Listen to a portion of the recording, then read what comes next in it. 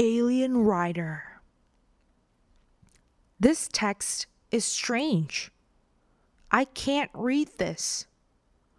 Then a translator comes.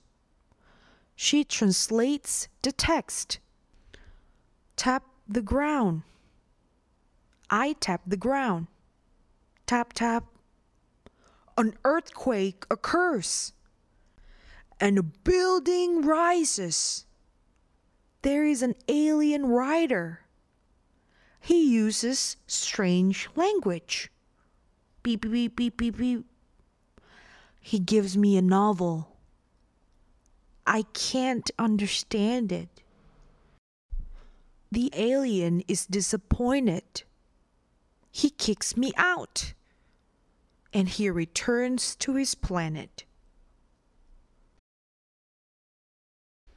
Question 1.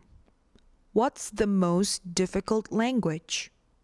English, Chinese, French, Japanese. Question 2. If you were a writer, what kind of writer would you be? Fairy tale writer? Cartoonist? Novelist? Lyricist? Question 3. What book did the alien give you? Alien Love, Alien War, Alien Adventure, Alien Detective. Question 4. Do you want aliens to exist in this world? Yes or no?